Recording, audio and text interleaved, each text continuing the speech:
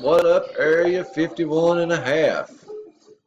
First, third, sixth, and tenth are going to win spots in the main for the Glock. Glock, Glock, Glock. 1, 3, 6, 10. 26 spot, 10 spots. And we got Jeff Ellis on top, Fred Fisher on the bottom. List is copied and we are live. 917. And we're going to roll two dice. Has to be five or more. Or, yeah, seven times. I think it's actually four or more. One, two, three, four, five, and six. One, three, five, seven. One, three, no, one, three, six, ten. Nine, seventeen. One, three, six, ten.